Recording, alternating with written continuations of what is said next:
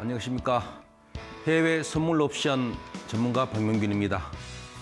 이번 한 주간 해외 주식시장이든 국내 주식시장이든 또 해외 선물 시장이든 한 주가 다이내믹한 한 주였습니다.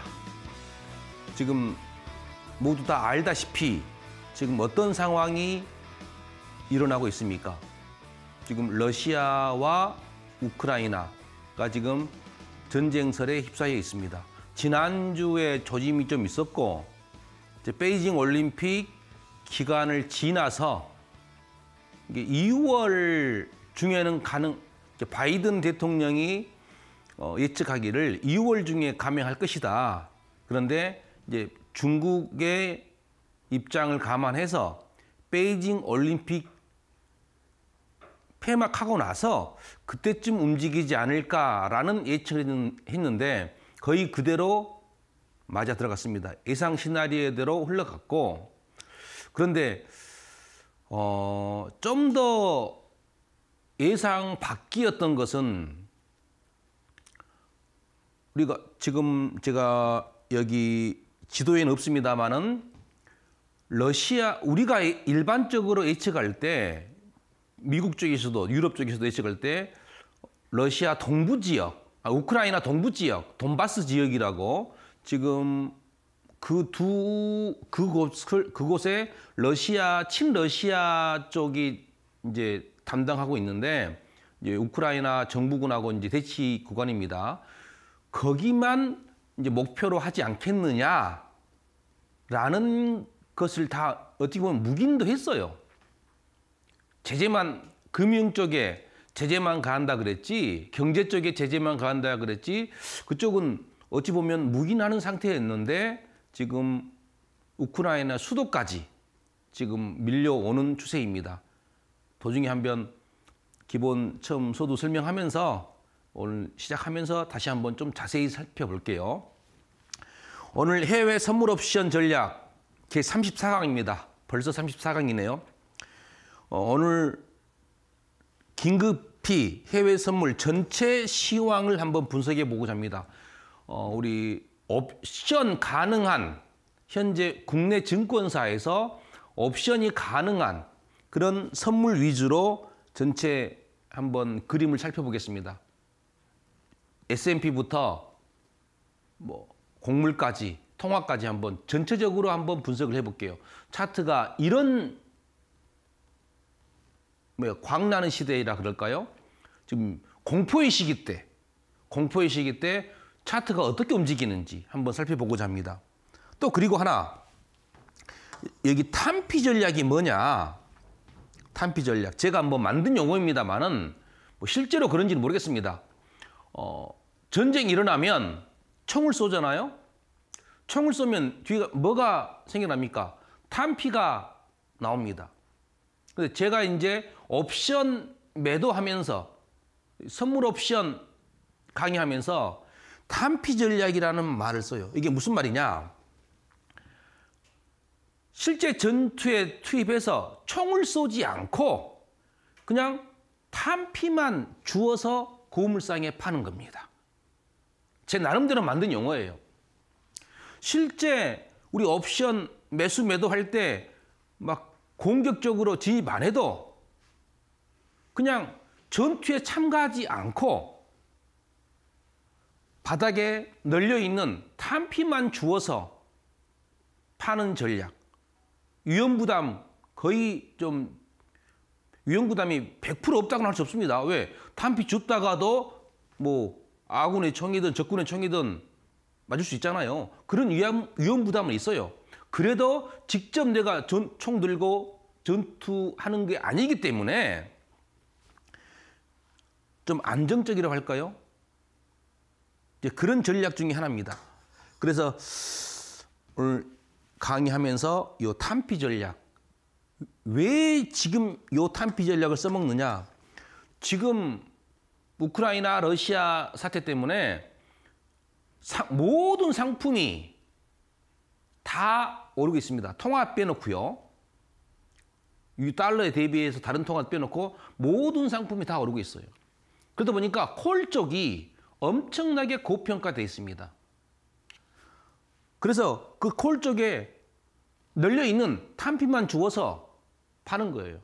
그래도 어느 정도 수익이 납니다. 오늘 요 탄피 전략 전체적인 시황 분석하면서 요 탄피 전략을 설명하면서 강의를 이어나가겠습니다. 자, 이 방송을 우연하게 채널 돌리다가 처음 들으신 분들을 위한 공부 방법입니다. 오늘 이제 34강째입니다. 1강부터 34강까지 듣습니다. 지금 하단에 제목 나가죠? 박명균의 인생 재테크 해외 선물 옵션입니다. 평생 할 수 있는 겁니다. 평생. 눈 모니터 볼 수 있고 손가락만 움직일 수 있으면 죽을 때까지 할 수 있는 게 해외 선물 옵션입니다. 장이 좋든 나쁘든 큰 상관 안 씁니다. 특히 1강부터 4강까지 반복 시청하십시오. 그러면서 궁금한 점은 곧바로 질문하십시오. 어, 질문 어디서 하느냐? 자, 문자 샵 3772 치고 신대가를 치면 채널을 안내 드려요. 그 채널로 들어오시면 원하시는 분은 강의 자료도 보내드립니다. 그래서 일단 뭘 알아야 우리가 뭘 매매를 하고 투자를 하고 그렇습니다. 그래서 궁금한 점은 요 특히 1, 2, 3, 4강에 해외 선물 옵션, 특히 옵션 매도에 관해서 기본적인 사항 다 들어가 있습니다. 그래서 반복 청취하시면서 질문하시면 뭐 배워두면 평생 써먹을 수 있을 겁니다. 늘 하는 제가 뭐 강의 서두에 하는 강의 내용입니다. 또 항상 하는 멘트입니다. 옵션 매수, 옵션 매도 이게 뭐냐? 풋옵 자 옵션 매수, 콜 옵션 매도가 매수가 있고 풋 옵션 매수가 있네. 옵션 매도, 콜 옵션 매도가 있고 풋 옵션 매도가 있네. 이거는 이제 많이 살펴봤습니다. 뭐 대충만 한 번만 보시면 콜옵션 매수는 선물이 어디까지 상승할 것이다. 풋옵션 매수는 어디까지 하락할 것이다. 우리가 투자하는 방법, 매매 방법입니다. 콜옵션 매도는 선물이 어디까지는 상승하지 못할 것이다. 풋옵션 매도는 선물이 어디까지는 하락하지 못할 것이다. 자, 옵션에는 네 가지 매매 방법이 존재해요. 주식은 주식은 몇 가지입니까? 두 가지. 아, 한 가지죠, 한 가지. 주식은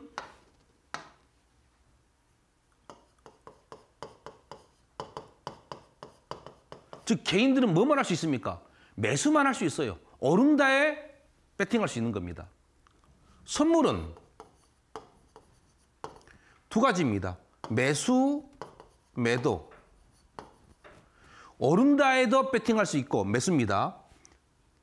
하락한다에도 배팅할 수 있어요. 매도입니다. 아, 물건이 없는데 어떻게 매도합니까? 그게 아닙니다. 매매 방법입니다.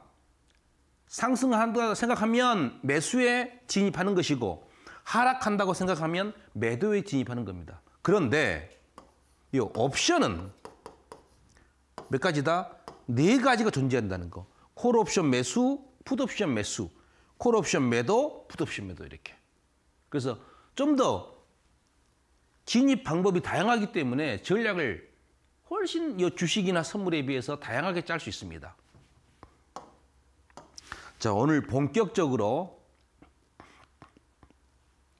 러시아 우크라이나 전쟁 상황 긴급 시황 분석으로 제목을 달아봤습니다.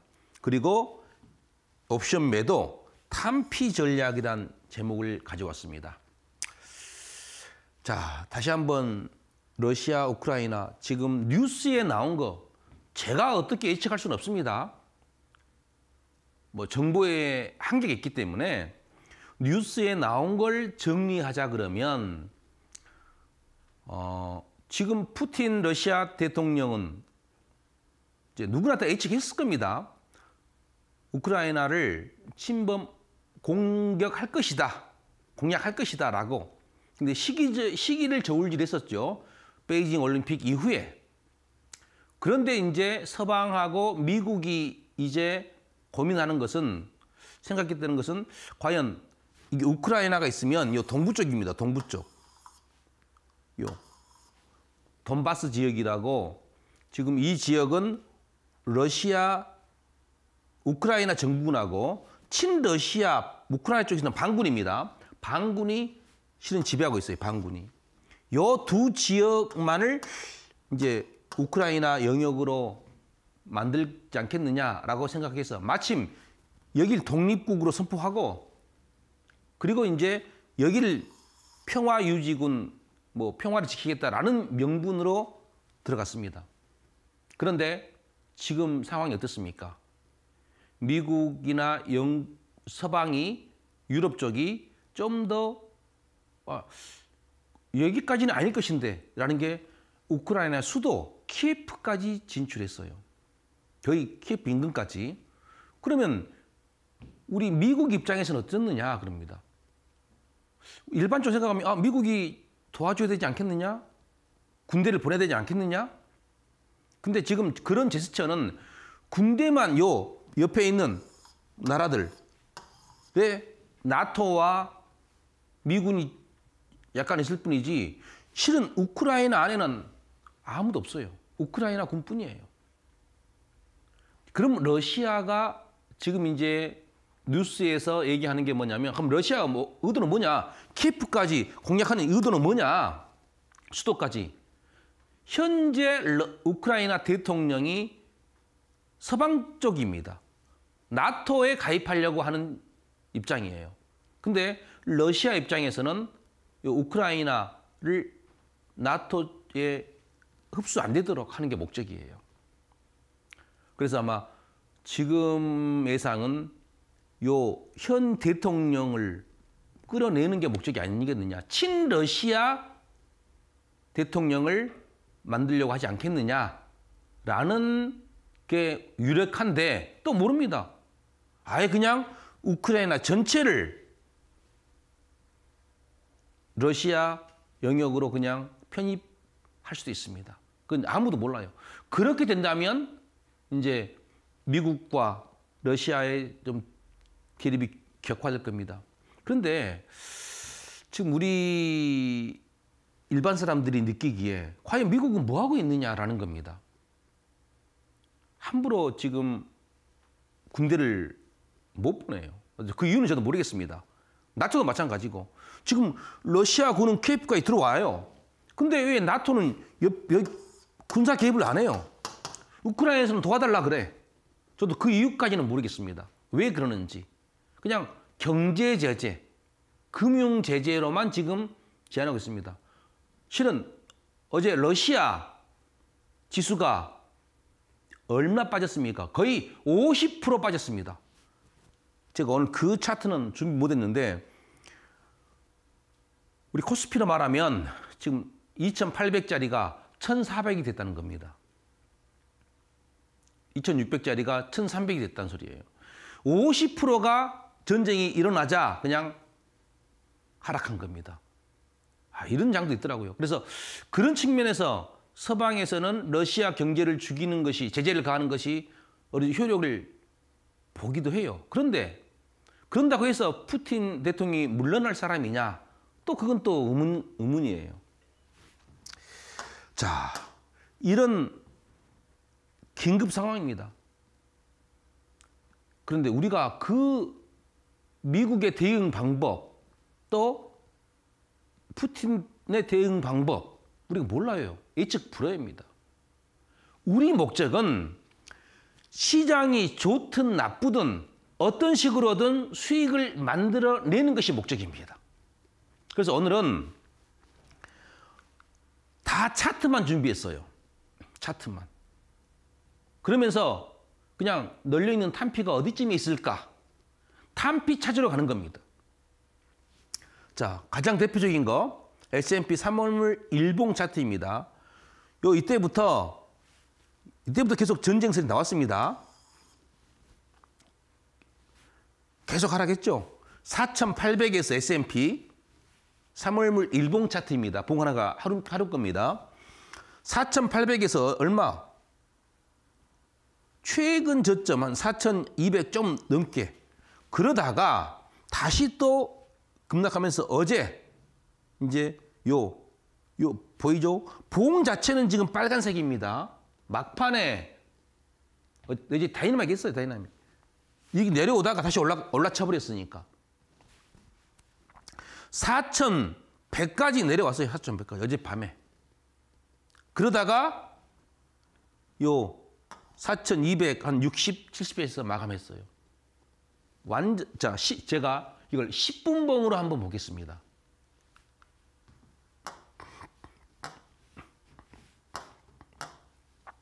자, 여기가 목요일 우리 시간으로 목요일 밤 12시 정도 됩니다. 요 선이 있죠? 요 12시 정도를 기점으로 해서 밤 12시입니다. 24시니까 밤 12시 기점으로 해서 이제 S&P가 하락하기 시작해요. 약간 여기에서 22평선을 좀 뚫으면 다시 내려옵니다. 그러면서 22평선을 저항선 삼아서 계속 내려와요. 또 여기선 너무 저점이다 밀렸는데 그래서 반등을 했는데 다시 또 62평선에서 저항선 맞고요. 그러다가 어제 그제 이게 그제고요. 어제 이 영실 기준으로 다시 또 반등했어요. 24일 우리 시간으로 24일 0시입니다. 그때부터 하락 시작해서 또 어젯밤 25일 0시 기준으로 오늘이죠. 실은 오늘 오늘 오늘 25일 0시 기준으로 완전히 급반등했어요. 급반등. 아마 대부분 S&P 혹시 투자하신 분들은 이때 그냥 탈출하고 보자 라는 마인드였을 겁니다. 그런데 탈출하고 났는데 즉 손절했는데 갑자기 이렇게 올리면 아, 이거 패닉 상태일 겁니다. 뭐 저도 아마 그랬을 걸 확률이 크고요. 하나 더 나스닥 하나 보겠습니다. 어, S&P와 나스닥은 거의 비슷한데 약간 나스닥이 좀 더 다이나믹해요. 나스닥 3월물 더 가, 기울기가 좀 가파라요. S&P에 비해서. 이제 13,000까지 내려왔습니다. 13,000까지. 그러다 10분봉 보면 나스닥 3월물 10분봉입니다. 요 24일 0시부터 하락이 시작했고 그런데 이제 반등 구간을 보세요. 반등 최고치를 보세요. S&P하고 비교하십시오. 거의 하락 초입에 올라왔죠. S&P는 좀 못 미쳐요. S&P는. 이 정도. 그렇지. 그래도 못 미치죠. 이 정도. 이게 나스닥은 좀 더 이 정도까지 더 올라왔다고. 그만 나스닥이 오히려 기술주다 보니까 S&P보다 좀 더 dynamic하게 하락도 크고 상승도 크고 이렇게 좀 dynamic하게 움직이는 추세가 있습니다. 그러면 우리는 여기서 뭘 해야 되느냐? 앞으로 우리는 잘 모릅니다. 어떻게 될지. 이걸 기점으로 해서 위로 쏟을지 아니면 이를 기점으로 해서 다시 또 계속 하락할지 아무도 예측할 수 없어요. 그래도 우리는 S&P 가지고 매매를 하고 싶다. 그런 이제 충동이 생겨요. 실은 개인적으로는 S&P는 저는 잘하지 않습니다. 그 이유는 옵션 매도 같은 경우 증거금이 비싸요. 근데 매수 같은 경우는 해볼 만해요. 현재 장세에서는 옵션 매수 그냥 보험용으로 해볼 만 합니다. 자 그러면 지금 4,258, 4,260이라 잡겠습니다. 요 지점을 기준으로 해서 4,260인데 자, 제가 오늘 서두에 탄피 전략이란 말을 썼습니다. 어디에서 탄피가 널려 있느냐? 한번 고민해 봅시다. 자, 한, 이 탄피는 불과 한 달 미만짜리입니다. 아니면 뭐 20일 정도 남은 것들. 너무 먼 것은 탄피가 좀 애매할 수 있어요. 먼 것도 괜찮아요. 그래서 월물이 지금에서 월물이 2개월 남은 것도 괜찮아요. 근데 기왕이면 탄피는 빨리 줘서 팔자고.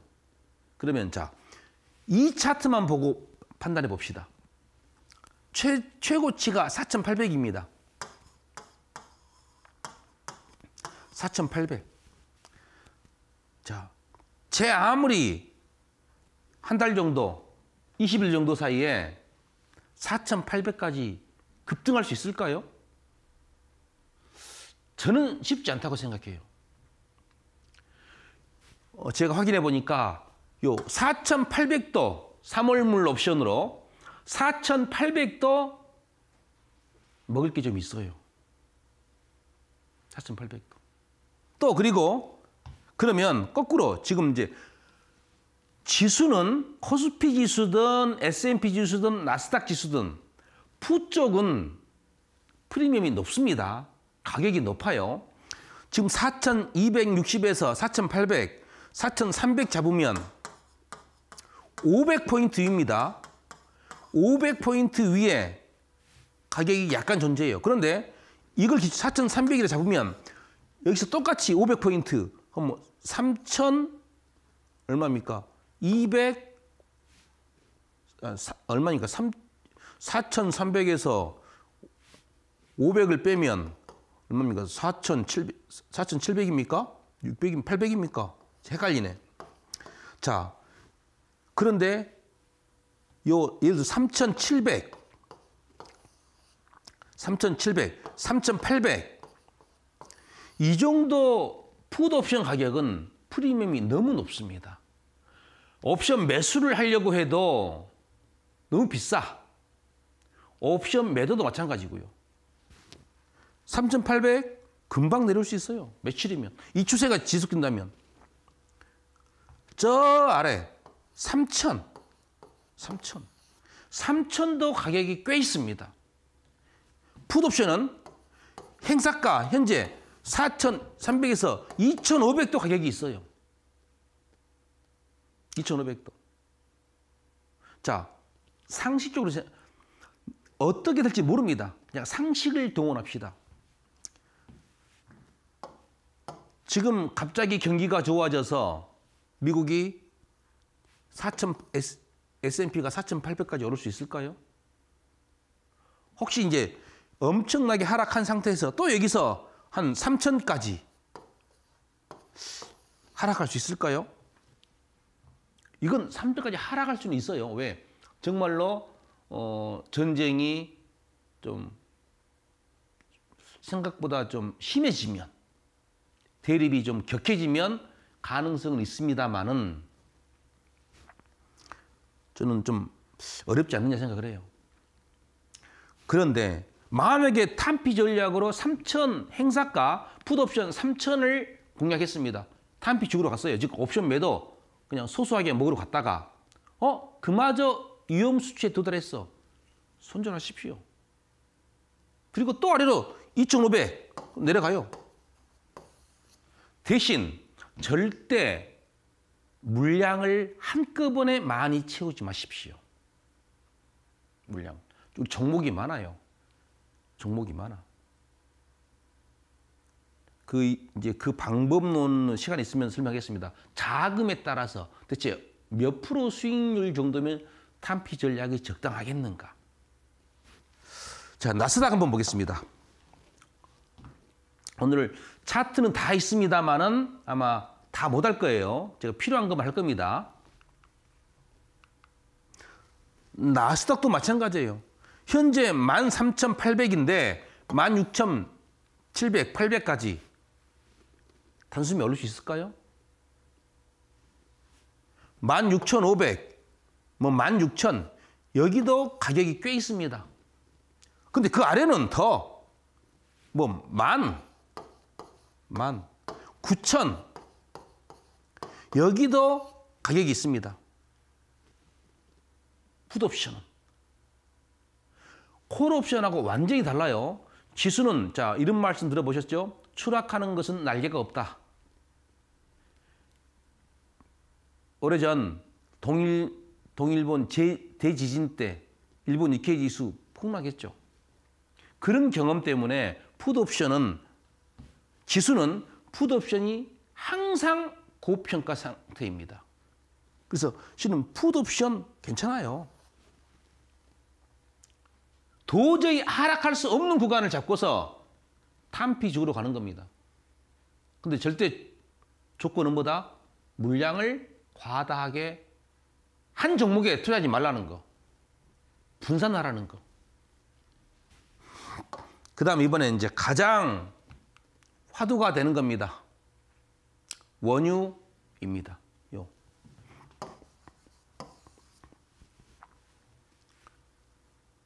여기서부터 언제입니까? 12월 중순부터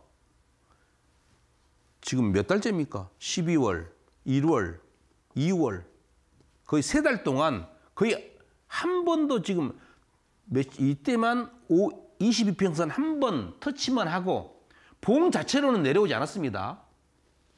계속 오르고 있어요. 자, 어제 드디어 100달러를 찍었습니다. 자, 100달러 얘기는 예전부터 종종 나왔습니다. 근데 요 며칠 사이에 러시아가 계속 이제 계속 마크롱 프랑스 대통령이 중지하면서 이제 뭐 가능성도 뭐야 외교적 타협이 가능성도 보였잖아요. 그래서 원유가 오를 듯 말 듯 초반에는 떨어지다가 밤, 밤 늦게 상승하고 또 떨어지다가 상승하고 계속 여기서 움직임이 있다가 어제 정식으로 러시아가 우크라이나를 들어가자 드디어 100달러를 찍었습니다. 아마 어, 가까운 콜옵션 매수 잡은 사람들은 어, 노래를 불렀을 것이고 콜옵션 매도를 잡은 분들은 힘들었을 겁니다. 이때는 지금 뭐하라 했습니다. 원칙적으로는 원칙적으로는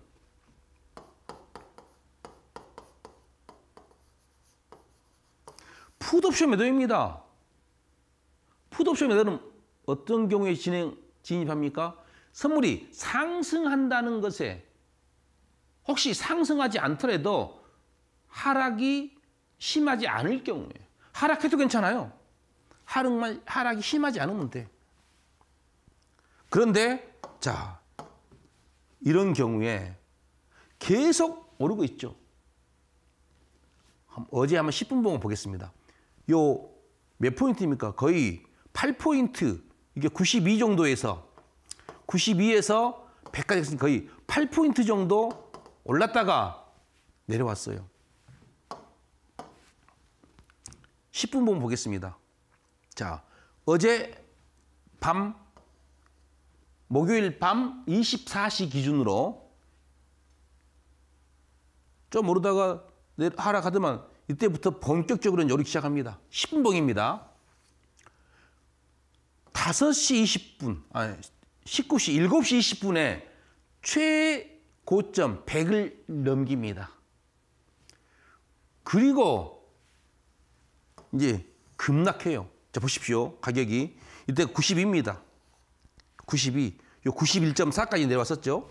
91.4에서부터 자, 91, 92, 93, 94, 95, 96, 97, 98, 99, 100. 1, 2, 3, 4, 5, 6, 7, 8, 9, 10. 아니죠. 1, 1, 2, 3, 4, 5, 6, 7, 8, 9, 10. 그 10포인트. 9포인트, 10포인트가 하루 만에 올라갔습니다. 그러다가 다시 7, 포인트 8포인트가 하락했어요. 이 상황에서 그럼 우리는 어떻게 대응을 해야 되느냐? 자, 어디를 주셔야 됩니까? 탄피주로 갑니다. 지금 탄피 전략 설명하겠습니다. 현재 가격이 94.28, 94에 정도 됩니다. 94에서 95. 현재 가격이 94에서 95 됩니다. 자, 지금 4월물 원유 옵션이 한 20일 정도 남았습니다. 20일 동안 자 혹시라도 전쟁이 좀 더 러시아가 좀 더 다이나믹하게 전쟁을 치른다고 생각해 봅시다. 그런다 할지언정 원유가 얼마까지 오를 수 있을까요? 지난 시간에 제가 자, JP 모건에서 150달러까지 간다고 했습니다.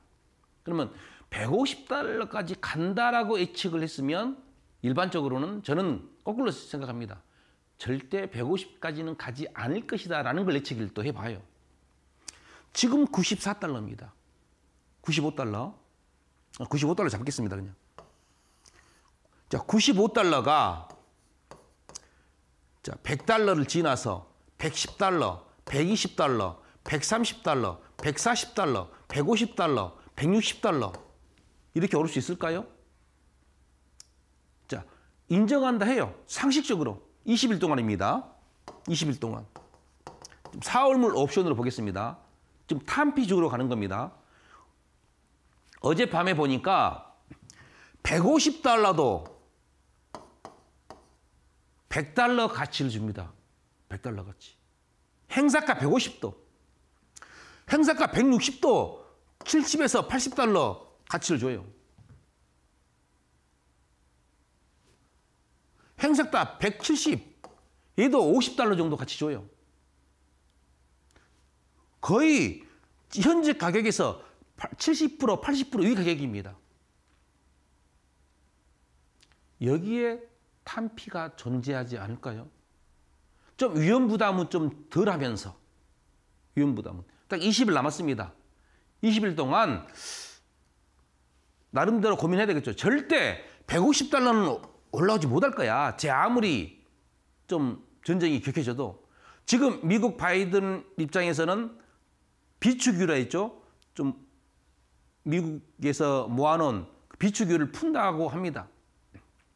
또 이란하고 합의를 빨리 끊을 수 있어요. 왜? 러시아산 원유가 이제 유럽에 못 가면 이제 원유값이 오를 거 아닙니까? 그러면 이란산 원유도 이제 빨리 합의해서 끌어내야 되고 미국뿐만 아니라 우리나라, 일본도 비축유를 좀 내놔라라고 말할 거예요. 그러면서 원유 가격을 억제할 겁니다. 왜? 지금 인플레이션이 또 화두기 때문에. 인플레이션도 동시에 미국 입장에서는 잡아야 되는 거예요. 마냥 원유가 150달러, 160달러 올라가기를 바랄 수 있느냐? 아닐 겁니다. 그러면 바이든 재선이 힘들 수 있어요. 그런 측면에서 여러 가지 종합해 봐서 절대 나는 150달러는 안 될 거야. 혹은 좀 더 공격적이다. 140달러까지는 안 올 거야 라고 생각할 수 있어요. 그러면 요 부분에서 그냥 탄피를 주는 겁니다. 대신에 항상 제가 강조하는 거 한꺼번에 다 담지 말고 하루에 한 개씩. 지금 상황 같은 경우는 계속 오르잖아요. 하루에 한 개씩 해도 괜찮아요. 동시에 지금 추세라면 쉽게 하락하지 않아요. 이 전쟁이 하루 만에 끝날 건 아니기 때문에 여기 70, 뭐 75, 65 여기도 탐, 자 지금 오히려 더 안전한 것은 이 아래쪽일 수 있습니다. 이제 뭐가 사태가 마무리된다고 해서 원유가 급락할 것이냐 급락할 수도 있지만은 또 그렇게 급락하지는 않을 거다 또 예측할 수 있어요. 그러면 현재 20일 동안은 지금 요 상태가 러시아 우크라이나 상태가 지속된다고 가정하고 나름대로 분석해서 그러면 오히려 푸드 옵션 쪽에서 요 아래쪽에서 더 안전한 탄피가 존재할 수 있어요. 65, 70. 여기도 어, 70 같은 경우도 한 100달러, 110달러 정, 존재해요. 지금 94입니다. 95입니다. 20일 동안 70달러까지 오히려 이게 더 하락하지 않는다가 더 안전할지도 몰라요. 실은 내가 탄피했는데 대체 자 20일 정도 남았습니다. 얼마 정도의 탄피가 안전할 것이냐? 저는 한 40달러, 50달러. 좀 욕심을 내면 100달러. 그런데 이 탄피는 그때그때 다릅니다. 왜? 행사가가 다르기 때문에. 지금 원유가 계속 오르고 있는 추세라 콜 쪽이 프리미엄이 많이 붙어 있습니다. 이제 가격이 높아요. 그래서 콜 쪽에 멀리 달아나도 탄피는 많아요.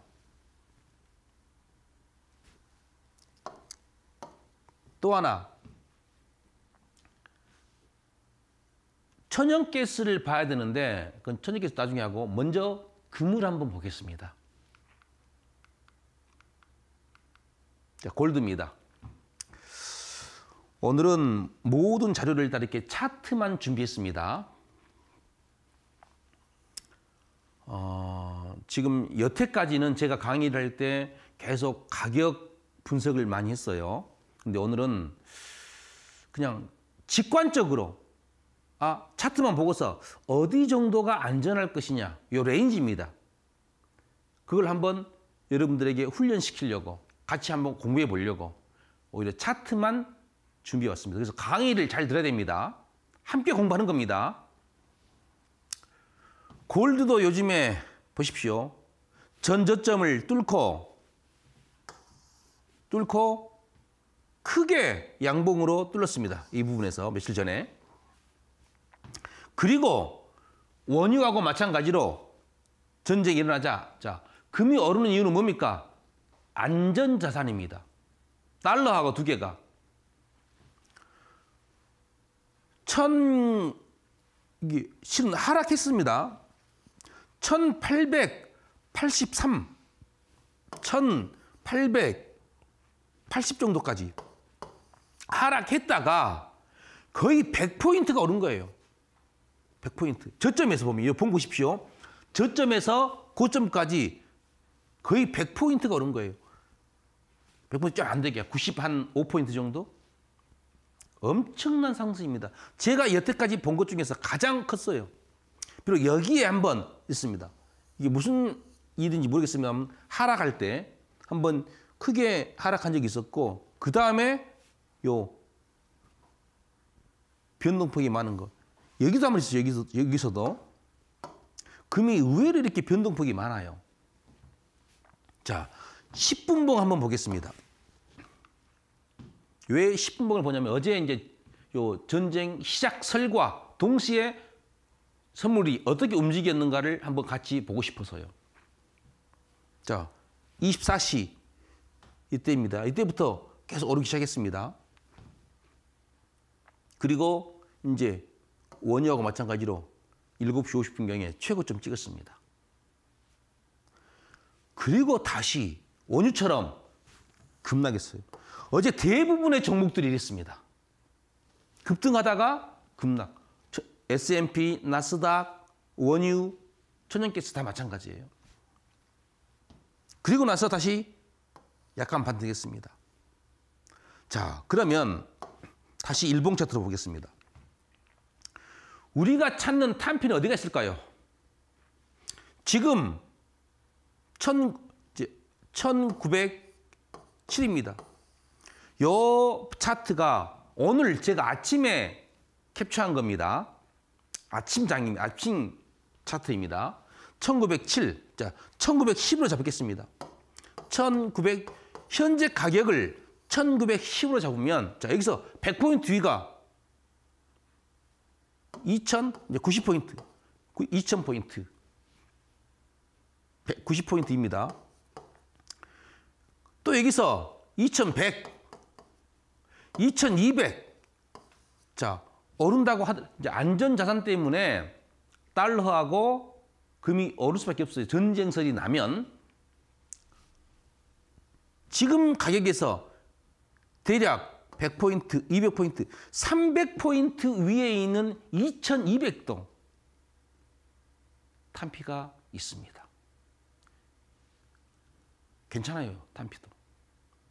그 다음에 오히려 지금 상황에서 더 안전, 요 지점 1700 여기도 탄피가 존재해요. 자, 지금 이거 오르고 있는 추세이기 때문에 단기간에 하락은 하지 않을 것이다라고 생각할 수 있잖아요. 지금 하루아침에 러시아 우크라이나 사태가 끝나지 않을 거라 생각한다면 요 1700도 탄피가 존재합니다.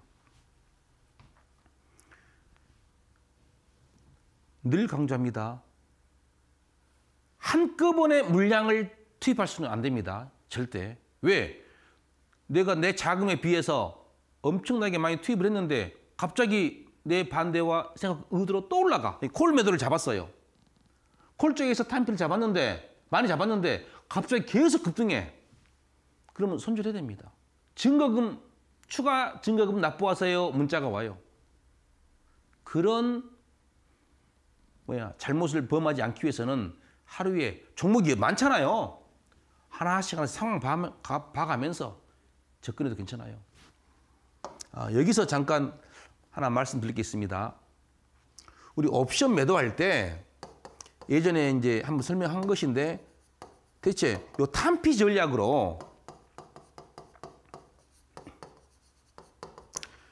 얼마 정도의 수익률이면 괜찮을까요? 저는 월 1%도 괜찮아요. 월 1%도. 내 자금의 월 1% 정도. 탄피, 탄피 전략만으로도 본 게임에 게임 안 하고요. 본 투자하지 않고 탄피 전략만 구사해도 월 1%가 나올 수 있게 구조를 짤 수 있어요. 얼마? 요즘 같은 장세, 지금 주식 시장도 힘들잖아요. 옵션 시장도 쉽지 않아요. 비록 매수가 지금 변동성 장세이기 때문에 콜옵션 매수든 풋옵션 매수든 매수가 유리할 수 있습니다만은 매수가 또 의외로 쉽지는 않아요.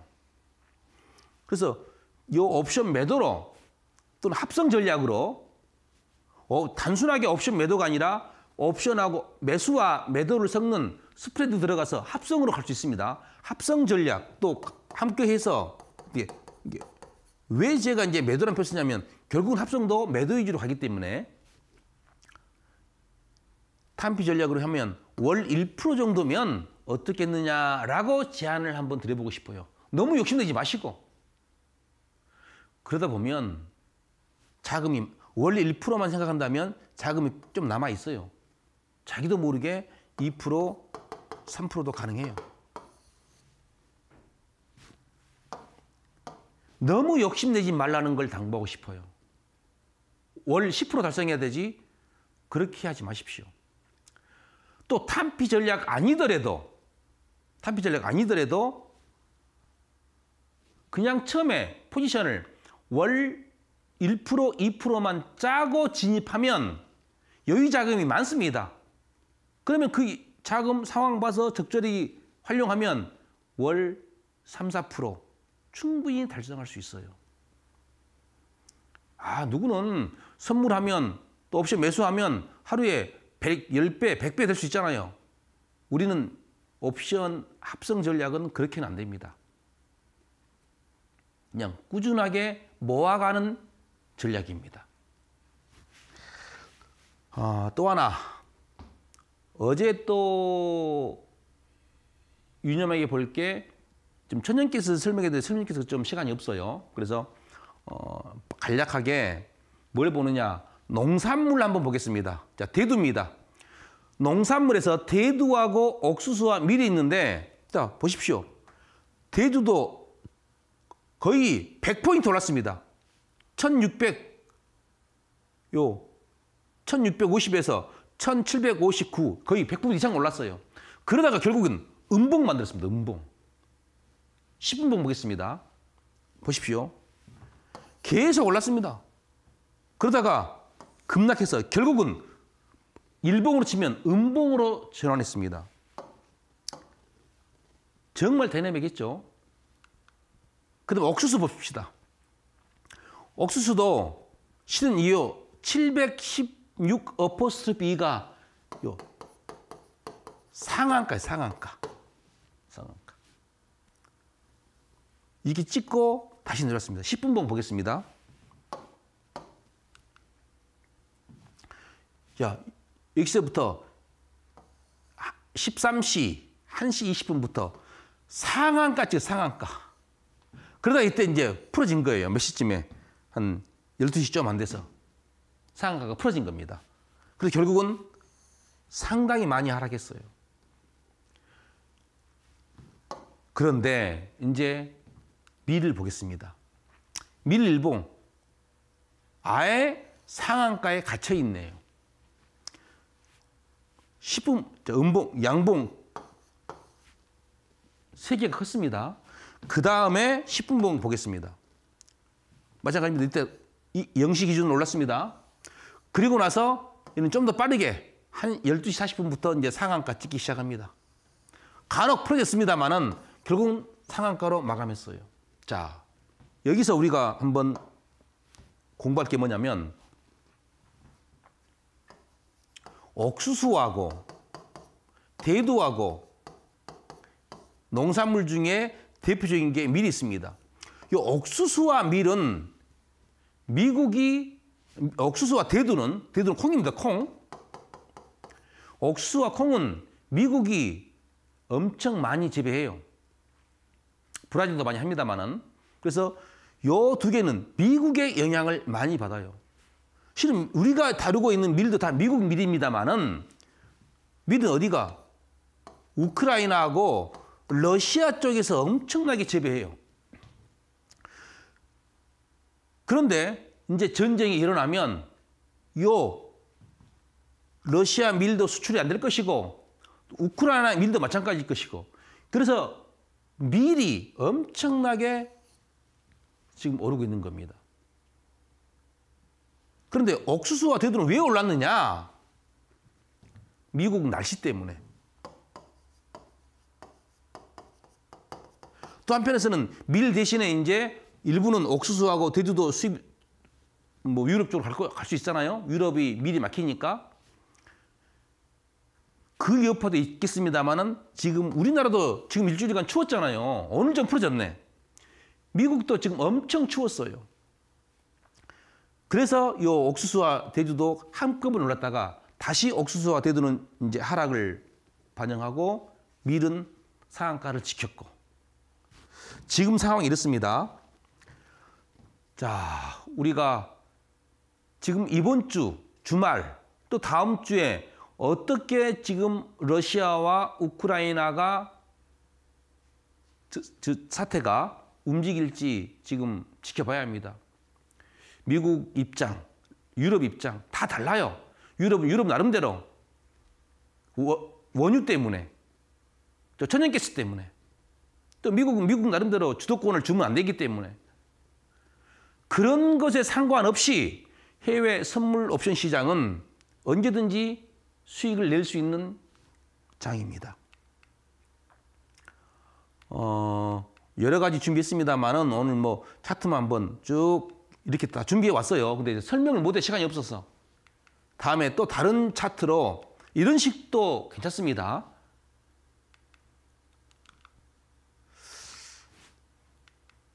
어, 잠깐만 이제 마지막으로 달러가 있는데 지금 통화도 해야 되는데 지금 오늘은 시간이 안 될 것 같습니다. 오늘은 뭐 설명은 여기서 마치는 걸로 하고요. 다음 시간에 이어서 하겠습니다. 자, 어, 본 강의 처음 들어오신 분들 아마 새로운 영역일 수 있습니다. 이미 아신 분도 계시겠습니다만은 모르신 분들은 자, 요 문자 샵 3772 치고 신대가를 치면 채널을 안내해 드릴 겁니다. 채널로 들어오시면 원하시는 분은 이 강의 자료까지 또, 이, 또 필요하시면 기존 강의도 보내드리니까 또 들으면서 특히 1강, 4강 반복하시면서 궁금한 점이 있으면 언제든지 질문하십시오. 자, 이번 주 한 주간 탄피 전략만 해도 다음 주 한 주간입니다. 탄피 전략만 해도 상당한 수익이 나옵니다. 자, 다음 주에도 더 좋은 모습으로 여러분들 찾아뵙겠습니다. 감사합니다.